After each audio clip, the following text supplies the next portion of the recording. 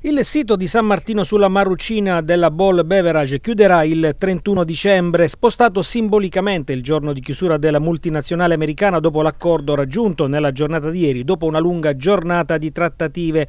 La CISL questa mattina ha fatto il punto della situazione sottolineando l'atteggiamento di chiusura dei vertici della Ball che ha fatto sfumare anche la cassa integrazione. Diciamo che abbiamo raggiunto un accordo che è stato votato dai lavoratori in modo unanime eh, l'accordo prevede due principi, uno la possibilità di cessione dello stabilimento per chi è interessato, l'altro il favorire la rioccupazione di tutti i lavoratori.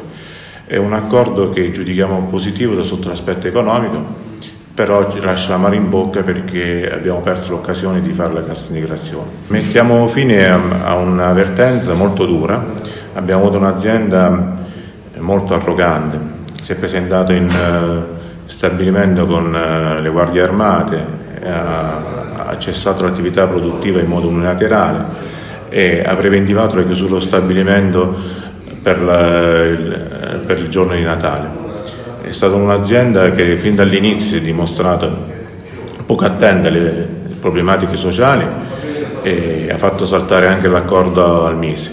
Eh, giudichiamo un modo irresponsabile di gestire un'avvertenza eh, c'è bisogno di mettere un freno a queste multinazionali che depredano il territorio, distruggono il lavoro e non si prendono responsabilità sociali. Penso che questo sia un impegno delle parti sociali eh, da fare insieme alla politica per il 2019.